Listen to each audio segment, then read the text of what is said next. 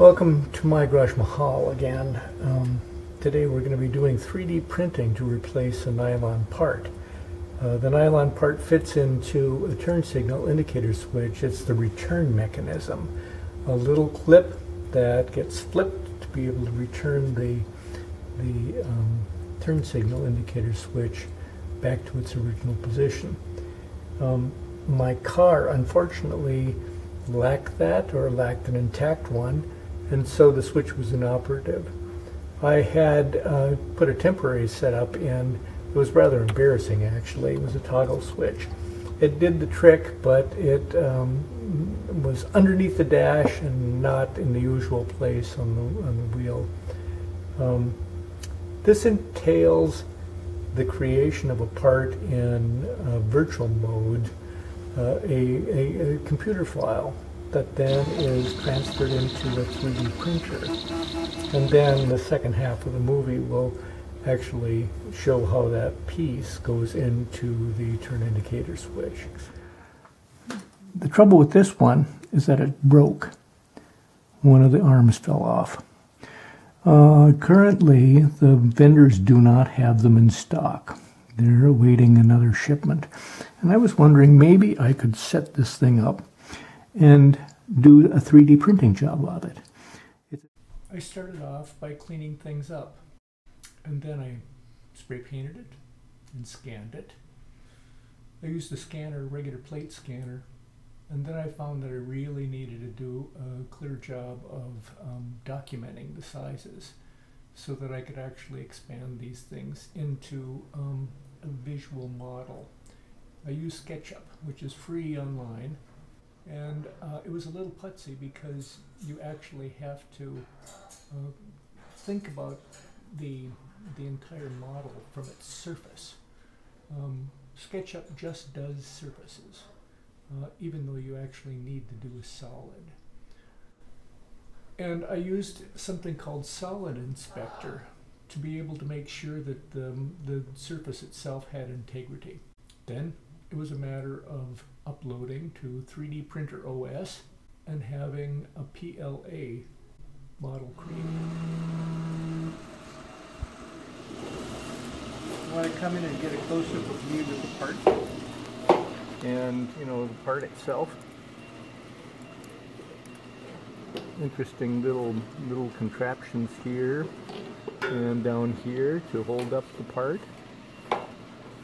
And this one I think is the low resolution one. And then there's another one. No, this is the low resolution one.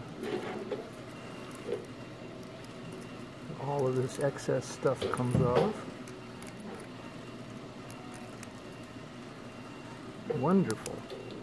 Now with this part, I'm going to compare it against the original. This one still has some spring, but it's made out of um, AB, uh, ABD? I can't remember. What is the... PLA. This is what? PLA. Okay. And that's that's not as springy as the uh, original nylon. But if this conforms to what I need it to be, I'm going to go ahead and and do a nylon part. Here's the parts.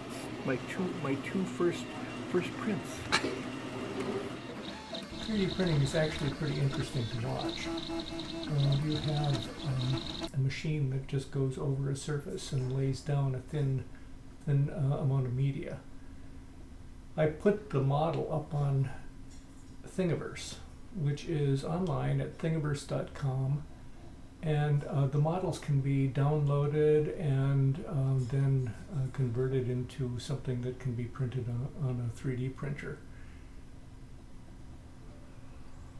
Putting the part in place entailed being actually creative about un unpacking the whole thing.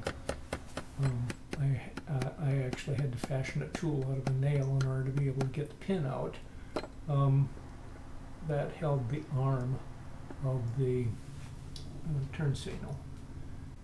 Inside there's a pin that uh, activates the flasher.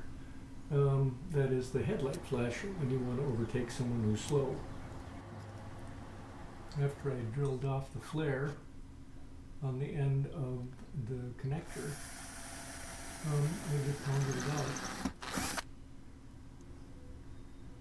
and then I was able to slip the nylon clip into place.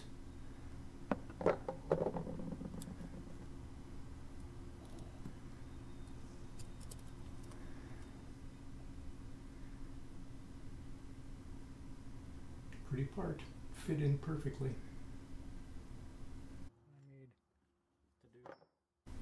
Now I think that if I were to do this again, I would either get a new pin uh, that holds the, the pieces together, or I might use a little bit of Loctite. Because uh, I think that maybe uh, if anything gets loose, uh, it's likely to be that part. It's held together by friction. A little bit of convincing with the hammer did the trick. And you can see how the whole piece is actually functioning the way it should.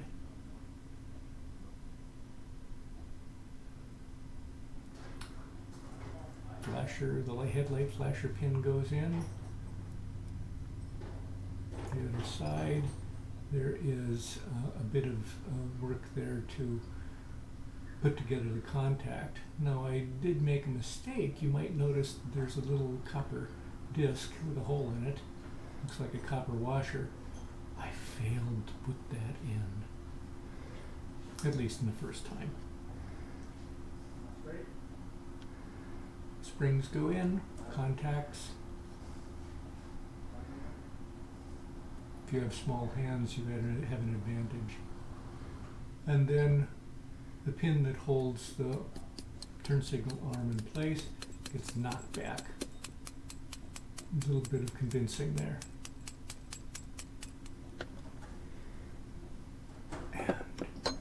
And Unfortunately, I discovered that I had forgotten. So piece came up, pieces all came off, and now the the contacts, the actual piece of the the, the indicator that has the electronics or the contacts on it goes into place with just two regular screws. And there it is, a functioning, a functioning turn signal.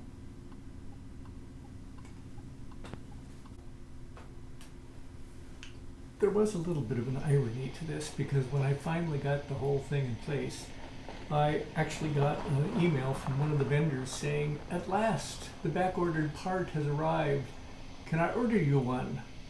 Um, and unfortunately, I said to him, Well, I've done my own 3D print of it.